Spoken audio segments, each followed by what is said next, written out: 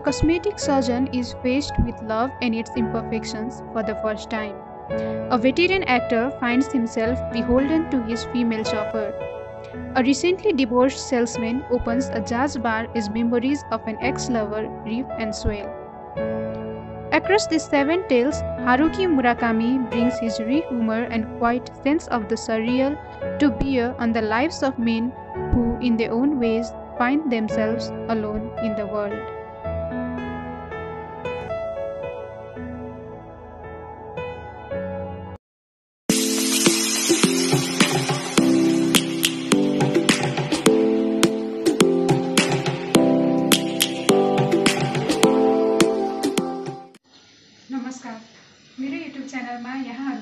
यहाँहरूलाई स्वागत छ म अनुज्ञा सधैँ जस्तै आज पनि म एउटा पुस्तक लिएर यहाँहरू उपस्थित भइसकेकी छु र आज मसँग मुराकामीले लेख्नुभएको मेन विथआउट वुमेन भन्ने पुस्तक रहेको छ।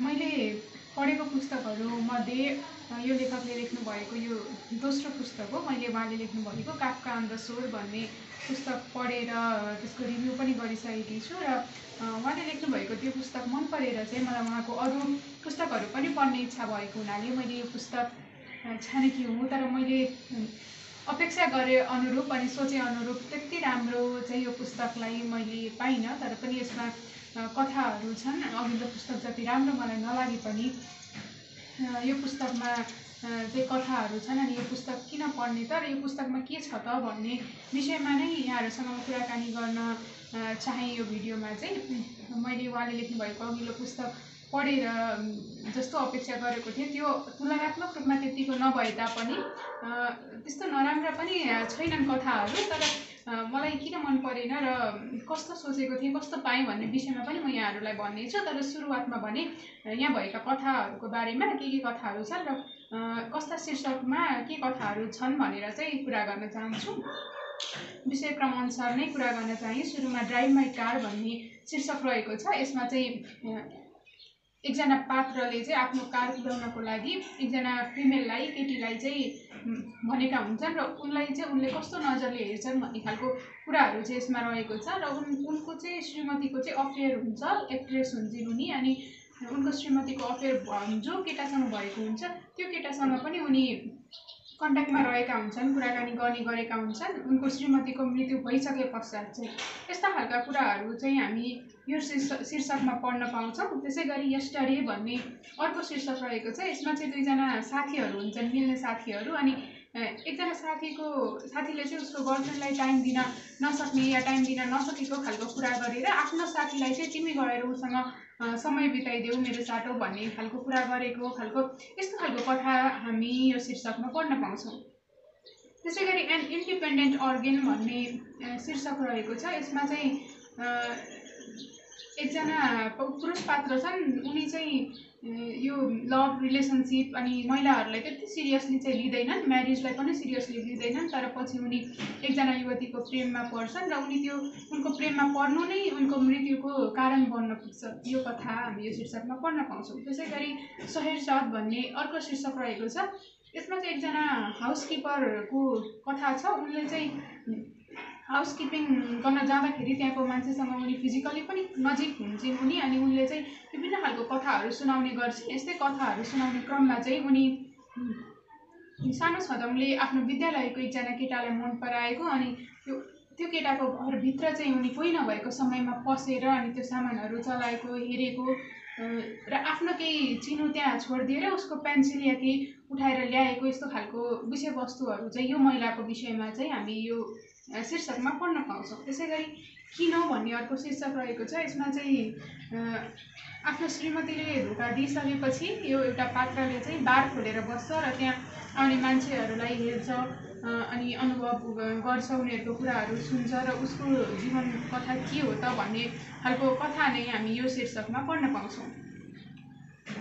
त्यसै गरी साम्सा इन लभ भन्ने शीर्षक रहेको छ अर्को। यो चाहिँ मेटामर्फोसिस भन्ने पुस्तकमा भएको साम्साकै जस्तै पात्र रहेको छ। साम्सा चाहिँ बिहान उठ्दाखेरि एक्कासै एउटा अजीबको जीवमा परिणत हुन्छ अनि के भइरहेको छ ऊ ठाउँ सक्दैन तर फरक चाहिँ के हो भने यो साम्सा चाहिँ प्रेममा हुन्छ। ढोकाको लक बिग्रियो भनेर ढोकाको लक बनाउन बोलाएको हुन्छ एकजना महिलालाई उसको परिवारले तर उसको परिवारका कोही पनि त्यहाँ हुँदैनन् र त्यो महिलासँग चाहिँ ऊ कुराकानी गर्छ अनि त्यो महिलालाई चाहिँ उसले मन पराउँछ या राम्रो लाग्यो भन्छ।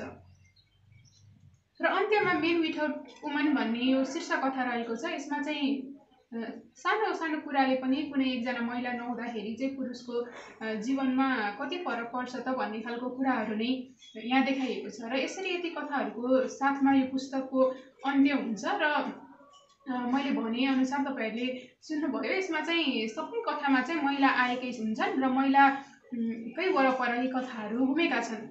र मलाई अलि यो पुस्तक मन नपर्नुको कारण चाहिँ महिलालाई अलिकति प्रायः जस्तो प्रत्येक कथाहरूमा नै महिलालाई अलिकति चिटर अनि एक्स्ट्रा मेरिटल अफेयर गर्ने खालको अलि नबुझ्ने अनि ढाक्न सक्ने सजिलै ढाक्न सक्ने खालको रूपमा मात्र प्रस्तुत गरिएको छ यी कथाहरूमा। जस्तै यो इन्डिपेन्डेन्ट अर्गेन भन्ने जुन शीर्षक छ त्यसमा त यहाँको एकजना पात्रले के भन्छ भने महिलाहरूसँग चाहिँ एउटा छुट्टै अङ्ग नै हुन्छ अर्ग्यान नै हुन्छ जसको कारण चाहिँ उनीहरू एकदमै सजिलै ढाक्न सक्छन् र एकदम इम्पोर्टेन्ट कुरादेखि लिएर सामान्य कुरादेखि लिएर ठुलो कुरासम्म पनि उनीहरू सजिलै ढाकिदिन्छन् साँचो कुरा गरे जसरी नै त्यसको लागि चाहिँ उनीहरूसँग एउटा इन्डिपेन्डेन्ट अर्ग्यान नै हुन्छ भन्ने खालको कुरा पनि गर्नुभएको छ। कतिपय कुराहरूमा त जस्तै यो सहरजात भन्ने कथामा पनि महिला चाहिँ आफूले मन पराएको मान्छेको लागि रिक्त घरमा त्यहाँ घुसेर त्यहाँको सामानहरू हेरेको यस्तो खालको त्यो अजिब अजिब खालको कुराहरू चाहिँ म यहाँ पढ्न पाउँछौँ र यो महिलालाई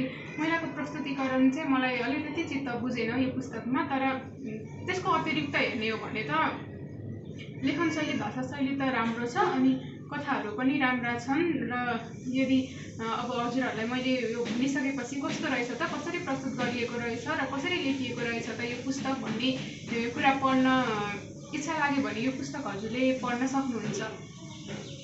र मैले यो पुस्तकको विषयमा यति नै कुराकानी गर्न चाहेँ। आज म रुकी मुराकामीले लेख्नुभएको मेन विथआउट वुमन भन्ने पुस्तक लिएर यहाँहरू सामु उपस्थित भएको थिएँ। म उहाँले लेख्नुभएका अरू अरू पुस्तकहरू पनि पढ्ने नै छु अनि मलाई पुस्तक कस्तो लाग्यो त र पुस्तकमा कस्तो विषयवस्तु छ त भन्ने विषयमा पनि भिडियो बनाउने नै छु। हजुरहरूलाई पुस्तकको सम्बन्धी जानकारी दिने नै छु।